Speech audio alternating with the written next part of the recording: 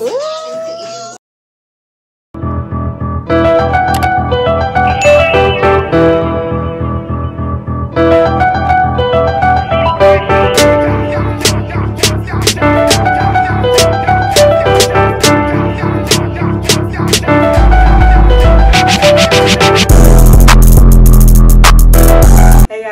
For those who are new, my name is Raven. Nice to meet you. And for those who are returning, welcome back, sis.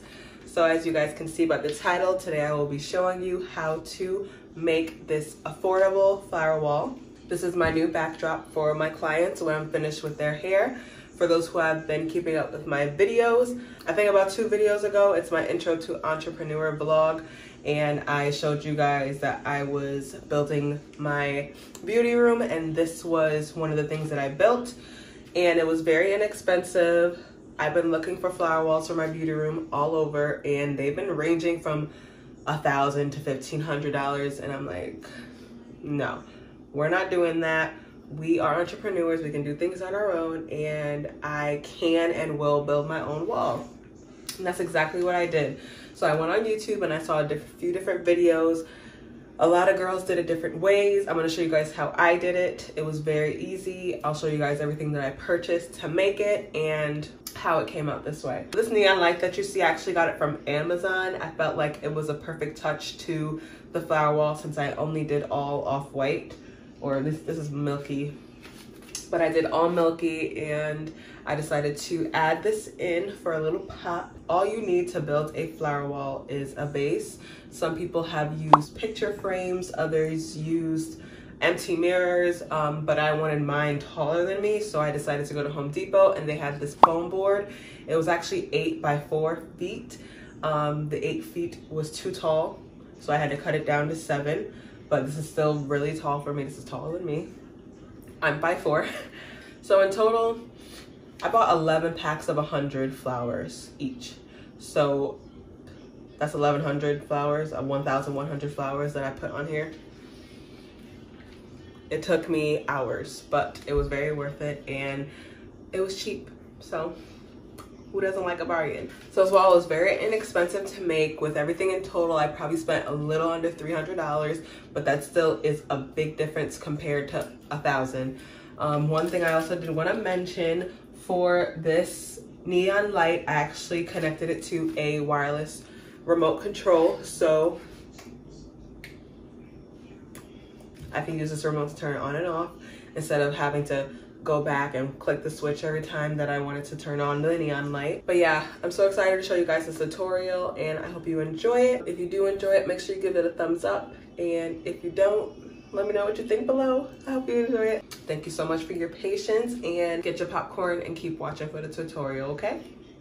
Okay guys, so here is the poly shield that I will be using today. This will be my base for my flower wall.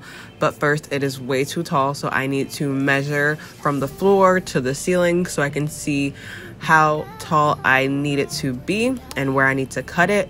Um, I measured about seven feet to the ceiling, so I went ahead and measured that on the foam board and I made a line.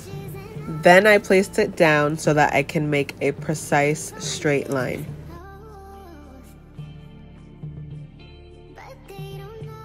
After that, I grabbed a pair of scissors and a knife and I just used the knife to make a perforation in the foam board and it didn't cut all the way through and that's where the scissors came in handy. As you can see, it's a little flappy still.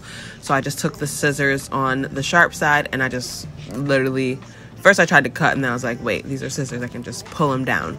So I just use the scissors and pull it down. And there you go. We took a whole foot off and now it's the size that I want. and I'm just gonna put it up against the wall to size it up and it's perfect. I love it. So putting it back down and now let's get on to gluing these flowers. As the hot glue is getting ready, I purchased about five packs of the Lighting Sky Milky White flowers. I thought that was enough, but you will see soon that it wasn't. And I basically just went right into it using the back of the flower, I placed a little bit of glue right in the center. You don't need too much. That little bit of glue stuck it right on and it was perfect. So I'm just gonna speed it up here because you guys get the gist. This is a very tedious process.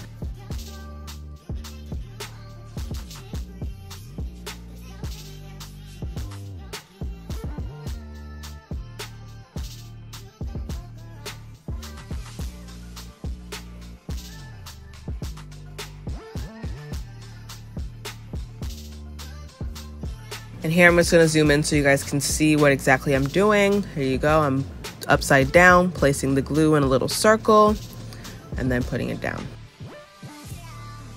So see guys, anyone can do this. It makes no sense spending over a thousand dollars on a flower wall that you can make entirely yourself. YouTube is here for us creators to show our viewers and watchers, you know, the potential of what they can do in life and I'm going to make sure that my page contains all the resources you guys need to become successful.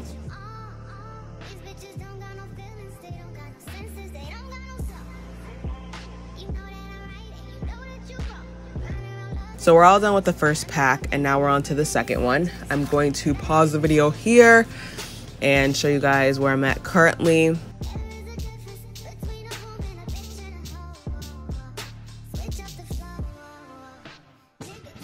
So this is day two. As you can see, this is what the five packs brought me to.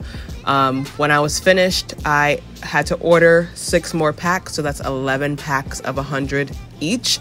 So that totaled 1,100 flowers, and that was enough to fill this wall. So obviously, if you're making a wall that's taller, you would need more. If you're making a wall that's smaller, you would need less but definitely make sure you order more than you think just so that you don't have to separate the days that it takes to finish this project.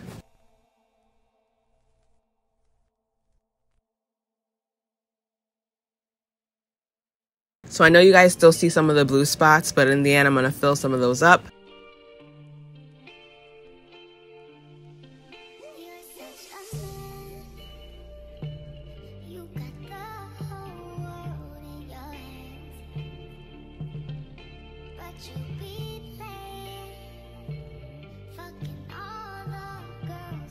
But yeah, it's coming all together. As I was doing it, I was so happy with the outcome and how easy this was. It only took me in total about two to three hours to complete, which isn't bad at all. I didn't mind the time with the amount of money that I'd be saving on getting this made by someone else.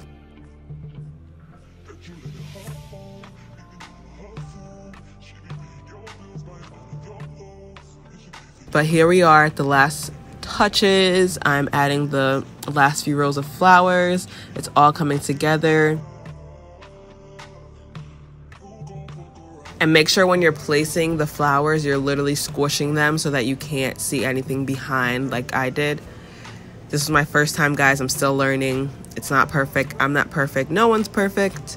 But as you can see, we're all done and I'm going in and adding in flowers where I see any spaces of white or blue.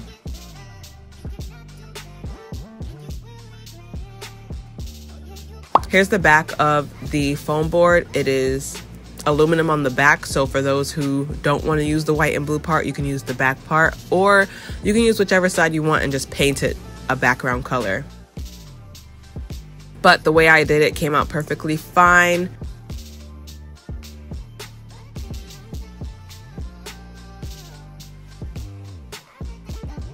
And here it is. We are all done.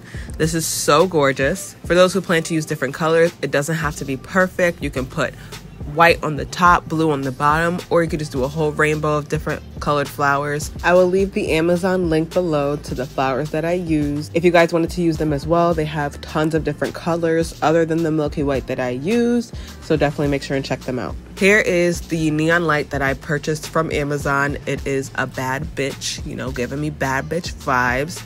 Obviously, it's not gonna just sit on the flower wall, so I had to upholster it and see where I want it to hang from, and then I put a hole into the foam board, went to the back and made the hole a little bigger. Then I turned the foam board back around and put the cord to the neon light into that hole.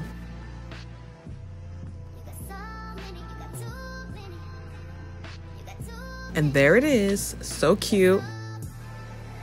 Now, I still didn't know how to hang it. However, Walmart has these 5 inch bamboo lollipop sticks that I used for dipping strawberry into chocolate. And I literally just pushed the stick into the foam right underneath the sign and it stayed perfectly fine. And I only used two of them. And then I connected the cord to a extension cord and I plugged it into my wireless remote. And here we have it. This is so cute and the neon sign is optional. Without it, I spent under $200. I'll leave everything below more detailed so you can see. Thank you guys so much for watching this video. I hope you guys enjoyed it. Make sure you comment below what you think of it and don't forget to subscribe. See you guys in the next video. Ooh.